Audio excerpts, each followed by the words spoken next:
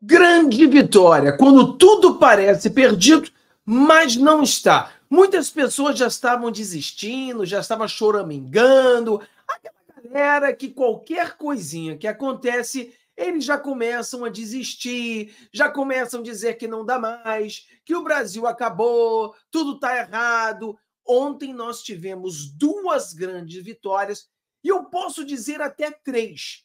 Você viu as três grandes vitórias do dia de ontem?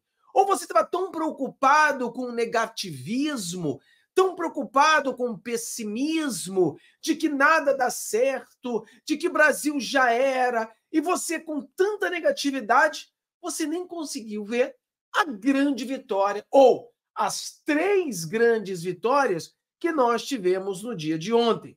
Então, vou falar para você vou mostrar para você aqui o que aconteceu no dia de ontem, que é grande vitória, para trazer uma carga de energia para você, para que você acredite. Porque eu acredito que nós iremos virar esse jogo.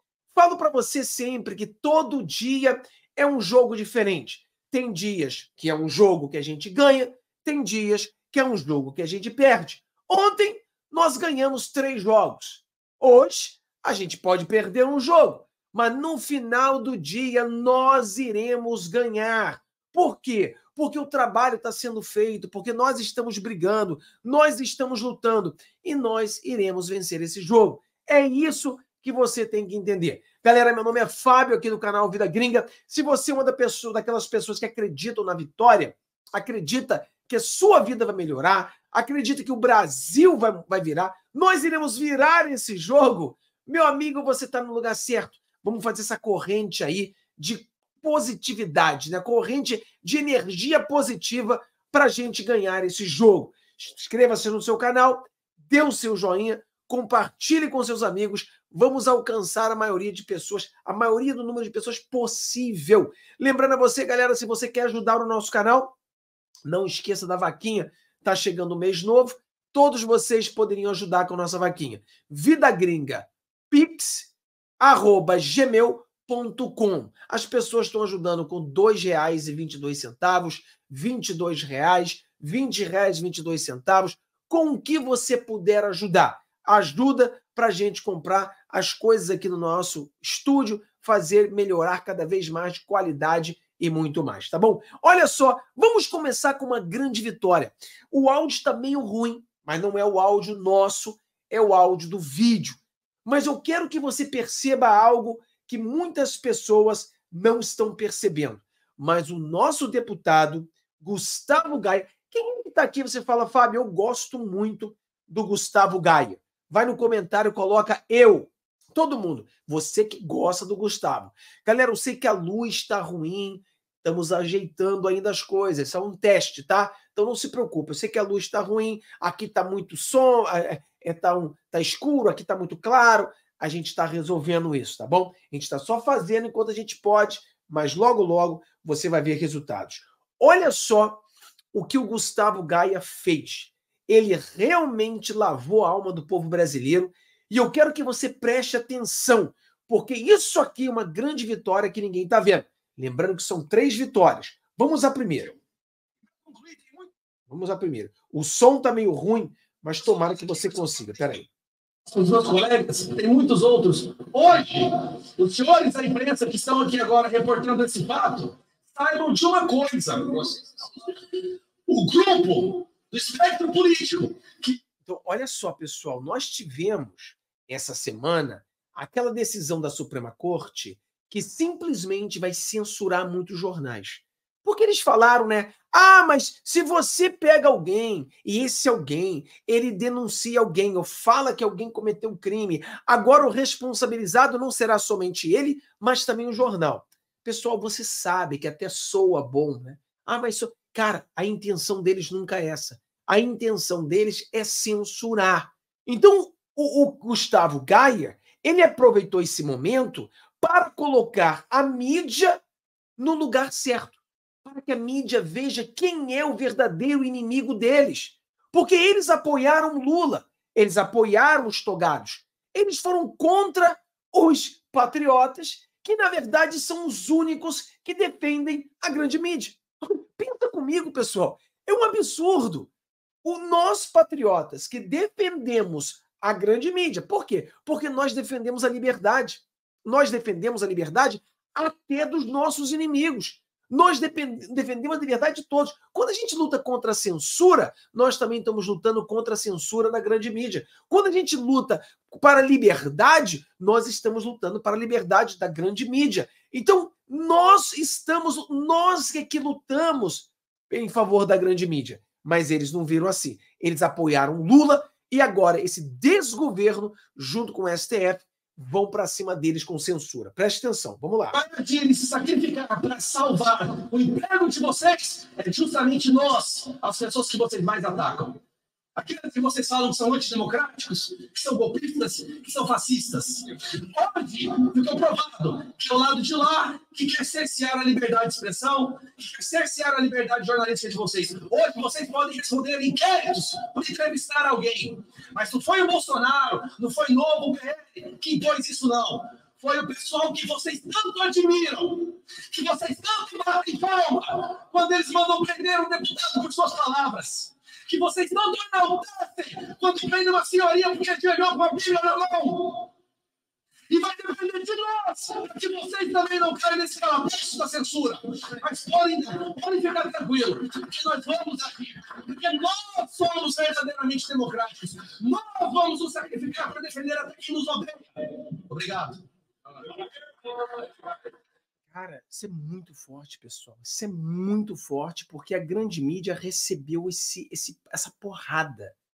Porque imagina você, a grande mídia fez tudo para o Lula ganhar, a grande mídia fez tudo para acontecer essa bagunça que está acontecendo, e no final do dia, eles vão contra a grande mídia.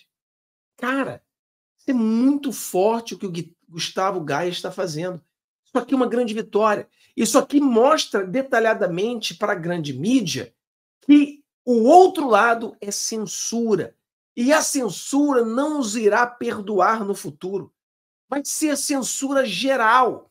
Essa conversa mole de que ah, eles querem fazer isso para é, lutar pela pessoa que está sendo acusada erroneamente. Isso é conversa mole. Nós sabemos a intenção. É tipo quando eles dizem: ah, nós não, nós não queremos censurar, nós queremos regulamentar as mídias. Só o Zé Maria da Jovem Pan que não entende o que acontece. Eles vão falar aquilo que as pessoas querem ouvir, mas eles vão fazer realmente uma censura. Eles querem abrir uma brecha para que possam censurar geral. Eles não estão abrindo brecha para que eles possam ajudar, pelo amor de Deus. É muita inocência da pessoa achar que eles realmente querem regulamentar para melhorar, para ajudar. Se eles quisessem realmente lutar contra o fake news, eles estariam apoiando o meu canal, porque nós sim lutamos contra o fake news. Então, essa aqui é a primeira vitória. Agora vamos à segunda vitória do dia. Quero que você preste atenção na segunda vitória do dia. Vamos lá.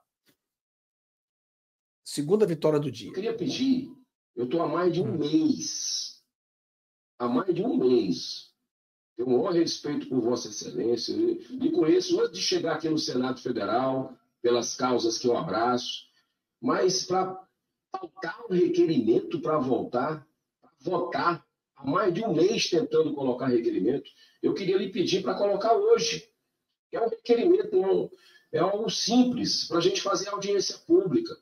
Tá? Nós temos aqui um caso que abalou o país, que ainda abala, desde a semana passada, que gerou uma movimentação gigantesca na Avenida Paulista, um clamor da população né, legítimo sobre a morte de um brasileiro, primeiro, primeira vítima da ditadura da toga nesse país, que não teve seus direitos é, respeitados, é, seus advogados que não tiveram acesso aos autos, que estava dois meses e meio dois meses e meio com pedido de soltura pela PGR, não foi solto, morreu. As filhas dele, a, a, a esposa, o choro dessas pessoas, que é o choro de milhões de brasileiros. E eu fiz um pedido aqui para a gente fazer uma audiência pública, para ver quem mais está nessa situação, por que, que aconteceu com esse rapaz, o que é que vai precisar acontecer de novo com outro. Só isso, para respeito aos direitos humanos. Né? Então, nós fizemos aqui o pedido para ouvir o senhor Alexandre de Moraes, seu Flávio Dino, seu Silvio Almeida. Então, o Senado está fazendo um pedido para falar, conversar, perguntar o Alexandre de Moraes, Flávio Dino, fazer perguntas. O que aconteceu? Por que, que você prendeu essa pessoa? Por que, que essa pessoa que estava presa por tanto tempo não foi julgada e morreu na proteção do Estado? O que, que está acontecendo nesse país? Perguntas. Vamos voltar aqui para você ouvir de novo. Olha só. Outro.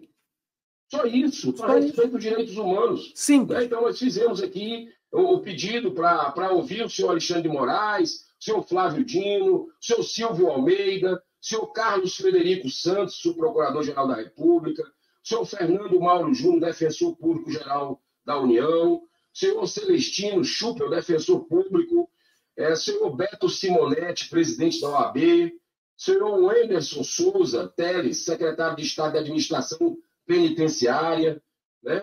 a senhora Leila Cury, juíza de direito, o senhor Tiago Félix de Souza, diretor-geral do Centro de Detenção Provisória, o senhor Bruno Azevedo de Souza, advogado, a senhora Gabriela Ritter, que também é advogada, presidente da Associação dos Presos, né? É, o senhor Ezequiel, advogado também, o senhor Frederico Pessoa, médico, e o senhor chefe do, do pátio, do bloco 1, do Centro de Detenção Provisória. Se a gente não puder, senhor presidente, fazer nessa comissão um debate da gravidade que a gente está tendo aqui, ver o que é está acontecendo esses presos políticos no Brasil? Por que, que não estão sendo, tendo seus direitos respeitados? Por que, que não tem o devido processo legal? Se essa comissão não puder fazer isso. Não havendo sem querer discutir, encerrar a discussão. Em votação o requerimento. Senadores que concordam, permaneça como se encontra. Aprovado. Aprovado. Aprovado. Fábio, então quer dizer que o, o, o Flávio Dino, o Alexandre Moraes, eles vão se apresentar e aí a gente vai ver. Pessoal, é lógico que eu não sou inocente, você não é uma pessoa inocente. Nós não somos naivos aqui. É claro que o Flávio Dino não vai se apresentar e é lógico que o Alexandre Moraes, o covarde, não vai se apresentar. Não vai se apresentar. Eles ficarão na deles não irão se apresentar. É óbvio isso. Ah, Fábio, então que vitória é essa? Que eles são é, chamados, mas eles não se apresentam. Nós sabemos que eles não vão se apresentar, mas as outras pessoas vão se apresentar. As outras pessoas colocarão detalhes. Ah, mas eu quero o Alexandre de Moraes. Pessoal, você tem que entender que tudo tem seu tempo. Hoje, a esquerda está no poder. Hoje, a esquerda tem a maioria. Amanhã isso pode mudar. Amanhã isso pode mudar. E isso mudando amanhã pode ser um requerimento usando desse histórico. Então, muita coisa pode acontecer. O que nós precisamos fazer nesse momento, primeira coisa, é nos distanciar dos negativistas, dos pessimistas daqueles que tudo está dando errado, tudo vai dar errado, nada vai dar certo. Aqueles que entram no meu canal todo dia e falam: quando tudo parece perdido, a gente sabe que tá. O cara torce para que a vida dele seja uma desgraça. Eu faço um vídeo dizendo às pessoas, cara, que não está perdido, vamos vencer. E o cara, ele me critica por eu acreditar que o Brasil vai dar a volta por cima. Outro dia, você vê, né? O negócio fica tão absurdo. Outro dia eu fui criticado porque eu pego todo o dinheiro que os membros doam, a mensalidade dos membros, e eu dou esse dinheiro para crianças pobres do Brasil. Até por isso eu sou criticado. Porra! Eu pego o dinheiro que as pessoas dão para o canal eu pego todo esse dinheiro e o que a gente faz com esse dinheiro? A gente faz uma ajuda, uma festa para Natal. Nessa festa, todas as crianças ganham um presente e uma bolsa família, uma bolsa de alimentos. Então ele tem festa, presente, bolsa de alimentos, com todo o dinheiro que vocês dão do membro. e alguém reclamou. Alguém reclamou, não, não, não é possível, eu acho errado você dar o dinheiro para as crianças. Rapaz, não adianta. Então, essas pessoas, faz um favor, cara, distancia dessas pessoas. Não dê mais ouvido essa gente, não. Eu não respondo essa gente no, no, no WhatsApp, não. Eu não respondo essa gente no. É, bota comentário ali, eu não respondo, não leio, nem olho.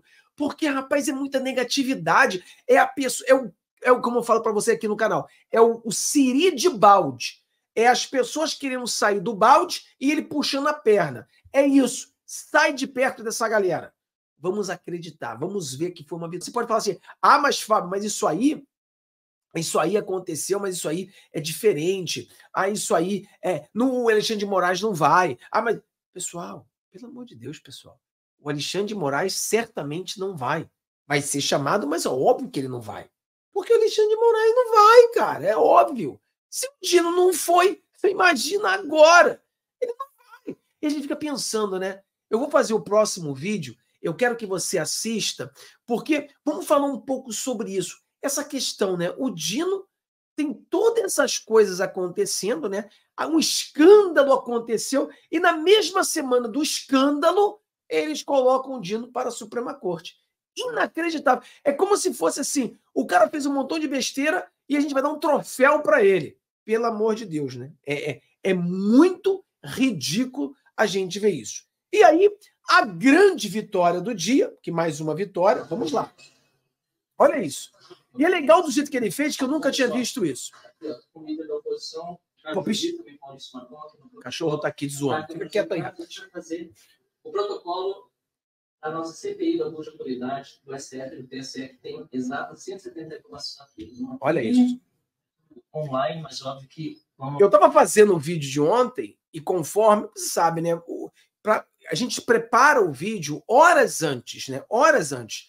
E na hora que eu já estava fazendo o vídeo, tudo preparado, já todo mundo falando, Fábio, já conseguimos as assinaturas para praia, graças a Deus conseguimos, mas já tinha fazendo um vídeo já contra o faltando uma, né? Vamos lá, continua aí. Então conseguimos 171 e vamos fazer. Vamos lá. Enviar documentos. Olha que legal como é que é feito. Documento, é feito através ali, eles enviam o documento. Olha aí, pessoal. Assinando ali. Conferência do uh!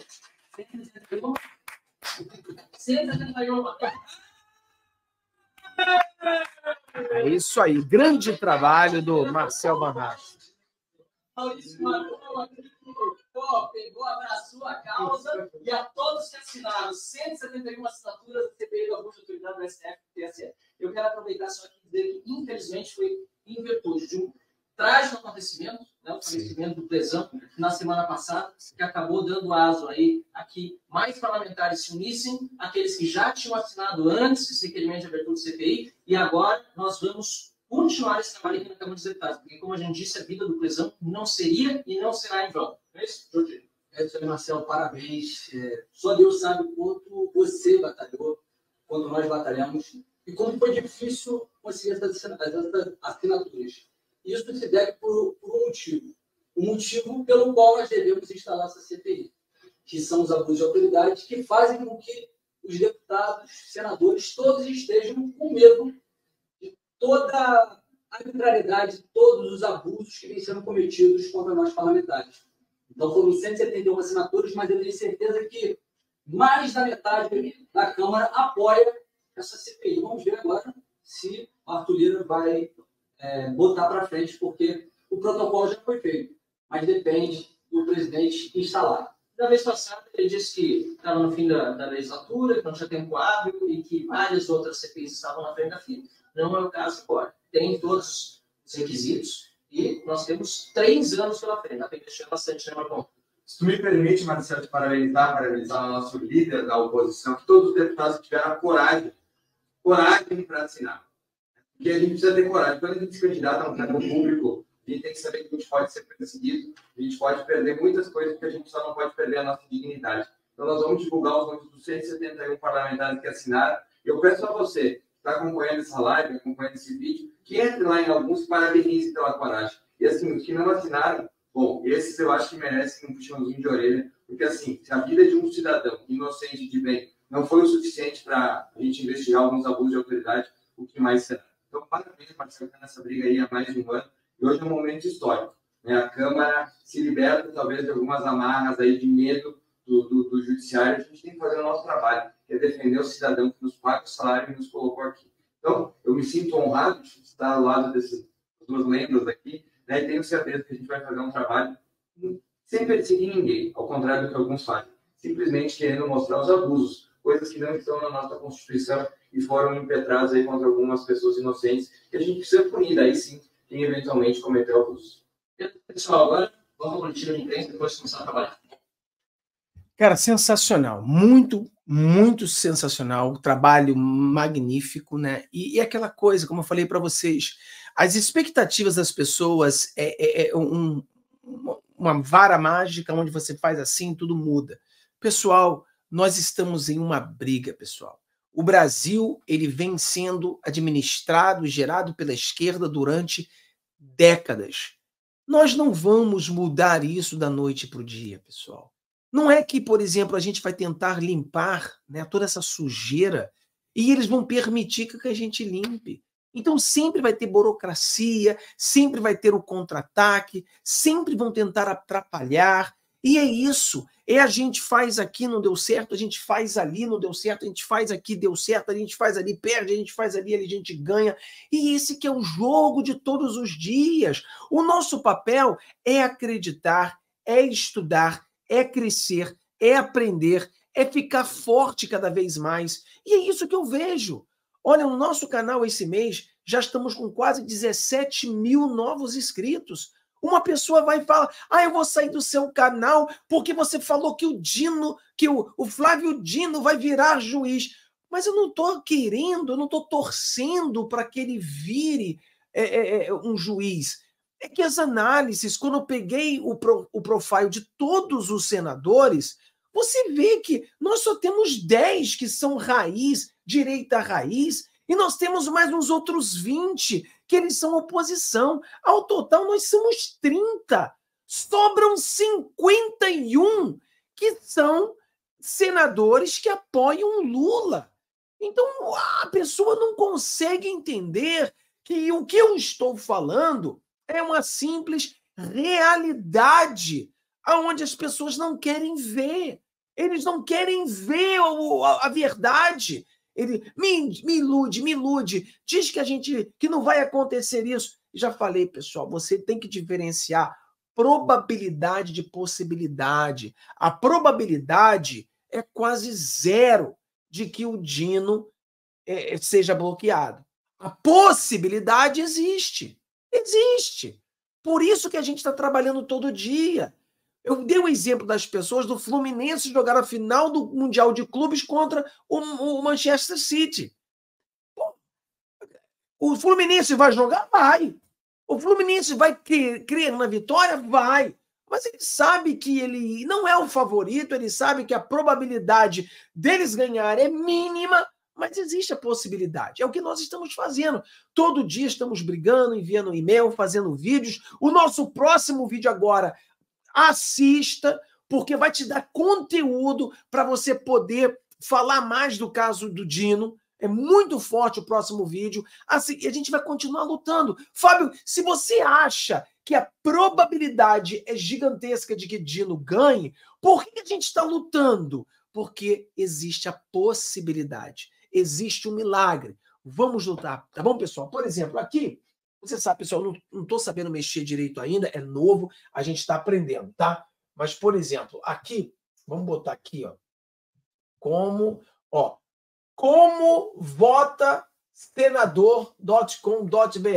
Vamos lá. Olha aqui. Então tá aqui o site sensacional que o Gustavo Geyer fez, né?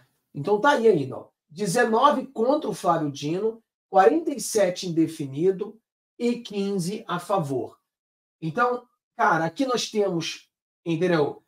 62, 62 senadores que ainda não decidiram em quem eles vão votar e 15 que vão votar para, quer dizer, 47 indefinido, mas aquilo ali o indefinido, ele vai mais ou menos para o lado de lá, né? Infelizmente. Então, o que acontece? Na minhas análises, cara, eu acho, né, das análises, tudo indica que 50 vão votar para o Flávio Dino. Só que o problema é que uma pessoa que ia votar contra o Flávio Dino, digamos que você é o João, senador João, e você quer votar contra o Flávio Dino. Mas aí você analisa e vê que está todo mundo votando a favor. O que acontece, normalmente, o João, que ia votar contra, ele fala assim: ah, meu amigo, eu vou votar a favor também, porque eu não quero um inimigo na Suprema Corte, que amanhã esse cara vai me julgar. Entendeu, galera? Tá dando problema? Esse é o problema. Então, de 50, é bem capaz no Flávio Dino chegue a 55 senadores que votem a favor dele. O voto é secreto, mas as pessoas querem fazer um conchavo ali, porque se cair na mão dele no STF, eles querem isso. Então é aquela coisa: um dia a gente perde um jogo, o dia que vem a gente ganha um outro. Então vamos na possibilidade, vamos lutar até o último minuto do segundo tempo, mas sempre com o pé no chão, entendendo que nós vamos dar o nosso melhor. Se a gente der o melhor, chegar lá, o Flávio Dino ganha, parabéns a cada um de vocês. Vamos continuar nessa luta, a gente vai virar esse jogo. Poxa, chegar no dia, o Flávio Dino é bloqueado, é um grande milagre, é uma festa e talvez até a queda do Lula. Tá bom? Deus abençoe todos vocês, que vocês tenham um dia maravilhoso. Não esqueça de dar o seu joinha, compartilhe com a gente. Se você não está no grupo de WhatsApp, entra lá. E se você é uma dessas novas 17 mil pessoas que entraram no nosso canal, seja bem-vindo. Te vejo mais tarde, galera. Tchau, tchau.